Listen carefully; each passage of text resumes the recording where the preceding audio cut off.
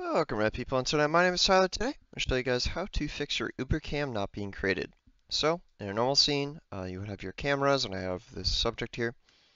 So what I'm going to do is I'm going to go to Windows, Animation Editors, Camera Sequencer. I'm going to go all the way to the start, just about here.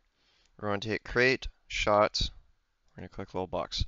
Now before we even do this, Make sure that your cameras, the scale is set to 1. For whatever reason, the UberCam doesn't like to be created uh, with the scales being different, so make sure those are reset to 1.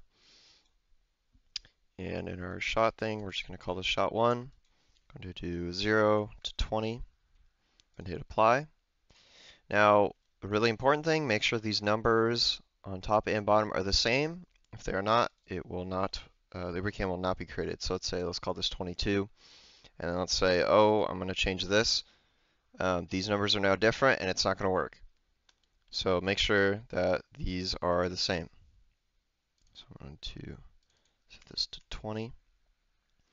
Um, and so we're going to create the rest of our shots now. Okay, so now we have all of our shots set up, making sure that these are the same all around and that the scales for each of the cameras are set to 1.